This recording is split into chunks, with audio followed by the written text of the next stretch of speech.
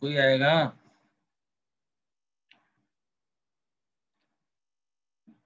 Class शुरू किया जाता है।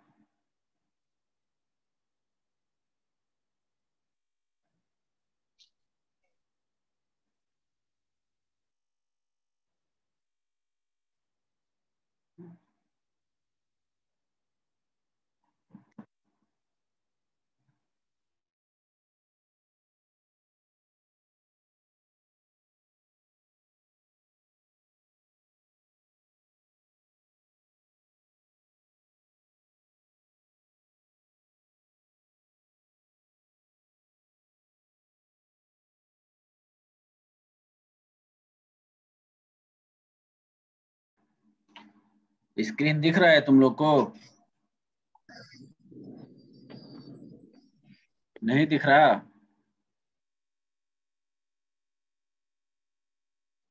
स्क्रीन दिख रहा है तुम लोग को? मेरी आवाज़ आ रही है? यस सर हाँ सर अच्छा अच्छा ठीक है ठीक है। अब देखो तुम लोग का सेमेस्टर सिक्स का हम लोग क्लास शुरू कर दे रहे हैं। और इतना लेट से सब आ रहा है। सेमेस्टर सिक्स की क्लास शुरू कर दे रहे हैं और बाकी जो सेमेस्टर फाइव है, हो सकता है तुम लोग को प्रमोट कर दिया जाए। इसलिए क्लास आज हम शुरू कर देते हैं तुम लोग का paper six point one metric spaces and complex analysis तो उसी में यूनिट थ्री एंड फोर अभी चलेगा तुम्हारा। तो उसमें पहले कॉम्प्लेक्स नंबर के बारे में देखना है। और उनका ज्योमेट्री लिमिट है कंटिन्यूटी है डिफ्रेंशियबिलिटी है जेनेटिक फ़ंक्शन है, ये सब देखना है। तो सबसे पहले कुछ हम लोग बेसिक देख लिया जाए। देखो, अपना अपना मोबाइल का साउंड बंद कर दो। Switch off your mic and video both switch off your mic and video Manisha Kumari, stop video. Switch off your mic and video. Okay. Now let us study about complex numbers. The equation x square is equal to minus 1 has no solution in the set of real numbers. Since it is negative and we don't know the root of negative. So for this system, we need another complex number system definition a complex number is defined as an ordered pair xy of real numbers complex number में xy होता है real numbers if we denote the complex number xy by z then z is written as x comma y within a small bracket this x is called the real part and y the imaginary part of the complex number z and real part is denoted by capital RZ and imaginary part capital IZ. Therefore, in the complex number Z is equal to root 3, 5. RZ will be root 3 and IZ will be 5. The set of all complex numbers is denoted by C. A complex number is purely real if its imaginary part is 0 and purely imaginary if its real part is 0. Two complex numbers Z1 and Z2 are equal if and only if their real parts are and their imaginary parts both are separately equal. Next, addition and multiplication of two complex numbers. Two complex numbers Z1 and Z2. Addition of them Z1 plus Z2 is equal to X1 Y1 plus X2 Y2. It means it is X1 plus X2 comma Y1 plus Y2. And the product Z1 into Z2 is X1 Y1 into X2 Y2 is equal to X1 X2 minus Y1 Y2 and X1 Y2 plus Y1 X2 product. Minus इसलिए कि i into i हो जाता है minus one usual representation of complex number z is equal to xy in the form z is equal to x plus iy, uh, we write complex number x0, where imaginary part is 0. The complex number 0, 01 is denoted by the symbol i. Therefore, i square will be 0, 01 into 0, 01. So 0 minus 1, 1 minus comma 0 into 1 plus 1 into 0. So it is minus 1, 0. It means minus 1. It means the value of i square is minus 1. So, isko tum log note down all of them. And if you have any query chat box में लिखो, चाहे मुझे यहाँ बोलो।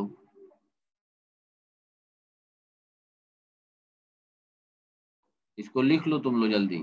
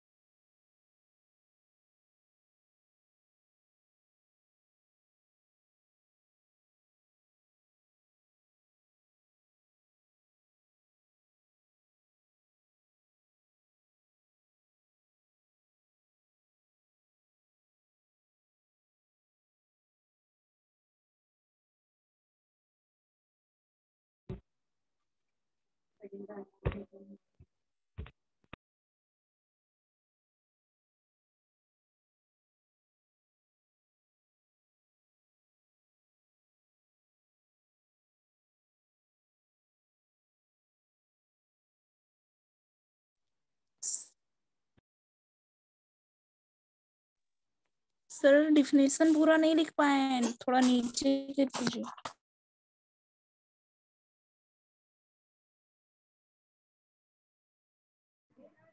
लोग इतना अगर slow लिखोगे तो कैसे होगा?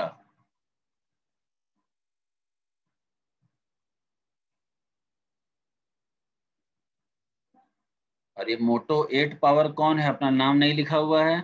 मोटो जी एट पावर अपना नाम लिखो, कौन है ये? मोटो जी एट नाम नहीं लिखा तो हटा देंगे यहाँ से फिर हम।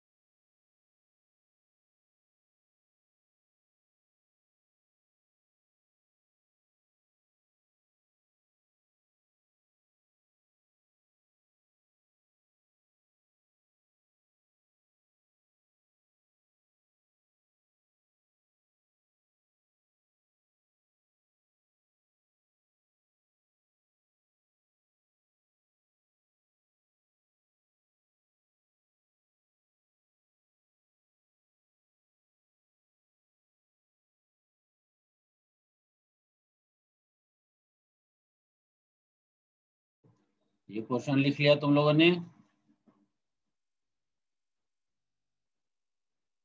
अब नेक्स्ट पेज पे आ जाते हैं हम लोग। The geometrical representation of complex numbers या उसको हम लोग आर्गन डायग्राम बोलते हैं। देखो ये figure O X O Y axis है परपेंडिकुलर और यहाँ एक पॉइंट एम है पी एक पॉइंट है एक्स प्लस आई वाई से डिनोट कर रहे हैं। But actually it is X Y X P is a perpendicular है PM. This is X and MP is Y. OP is R. This is your theta. So a complex number Z is equal to X plus IY can be represented by a point P in the Cartesian plane whose coordinates are XY referred to rectangular axis OX and OY. Usually called the real and imaginary axis respectively. So OX is your real axis and OY is your imaginary axis. So 0 plus I0 means the origin itself. 0 plus I0 will be origin. तो ये this is your geometrical representation of complex number लिखो इसको जल्दी।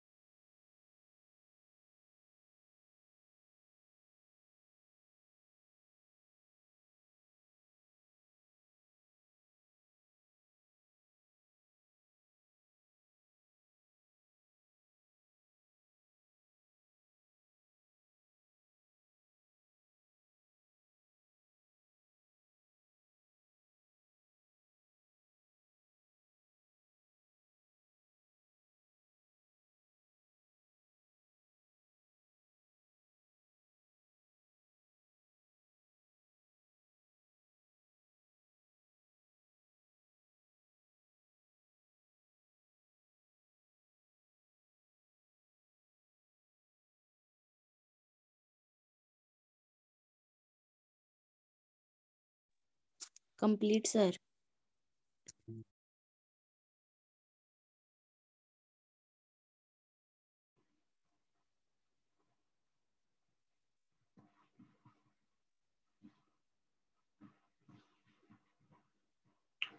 देखो, जो zero plus i zero था it response to the origin the real number X plus X is equal X plus i zero correspond to the point on the X axis and the purely imaginary number i y is equal to 0 plus i y it will correspond to the point on the y-axis.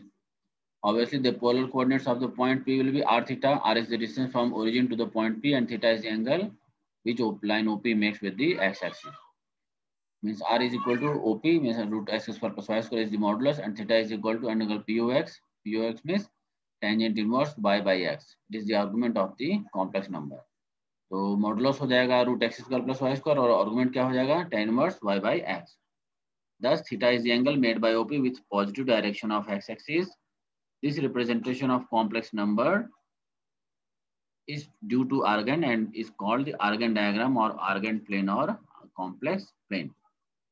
The complex number z is known as the fx of the point ye point p hai z x plus i by. If two complex numbers generated two are represented in the Argand diagram, then from the definitions of the difference of two complex numbers and the modulus of a complex number, model Z minus Z two is the distance between the point Z one and Z two अगर दो point है Z one Z two तो Z one Z two का model क्या हो जाएगा? Distance between them for a fix complex number Z zero and a given positive real number R the equation mod Z minus Z zero is equal to R it will represent a circle with centre Z zero and radius R यानी सरकम हो जाएगा mod Z minus Z zero is equal to R एक circle represent करेगा, जिसका centre Z zero से और radius are से। If the complex number z is equal to x plus i y is represented by the point p x y in the diagonal plane, then its conjugate z bar is equal to x minus i y. x तो distance वही रहेगा लेकिन जो imagery part है y times नीचे चला जाएगा minus हो गया तो नीचे तो ये हो जाएगा इसका conjugate complex which is the image of the point P in the real axis OX. If r theta are the polar coordinates of P, then the polar coordinates of Q are r minus theta. क्योंकि distance तो same रहना है बस angle minus हो जाएगा so that we have modulus of z is equal to modulus z bar and argand z is equal to minus argand argument z bar. Argument क्या हो जाएगा? Argument means tangent inverse y by x. This is your argument or modulus under root x square plus y square. Thus, if the trigonometric representation of a complex number is r cos theta plus i sin theta, then that of z bar will be r cos minus theta plus i sin minus theta क्योंकि cos minus theta होता है cos theta and but sin minus theta is minus sin theta. Next, vector representation. If we represent a complex z is equal to x by a point in the argand plane, then the length of the line segment OP is equal to the modulus of the complex number. ठीक, root x square plus y square होता है. And the direction of OP is represented by argument z means tan inverse y by x. Therefore, the complex number z can be represented by the vector OP, and we write z is equal to vector OP. Z को हम लोग एक vector OP के रूप में भी दिखा सकते हैं तुम लोग का पिछला वाला ही है कुछ नया इसमें नहीं है तो भी जल्दी जल्दी बोल रहे हैं कोई दिक्कत है तो पूछो मुझे और नोट करो इसको भी।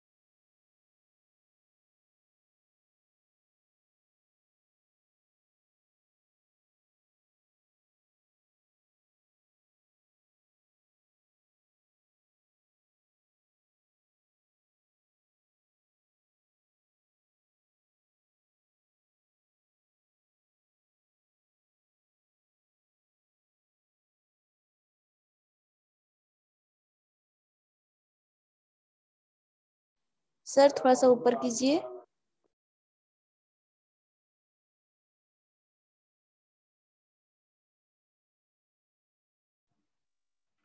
इतना ही है नीचे इसमें नहीं जाना है।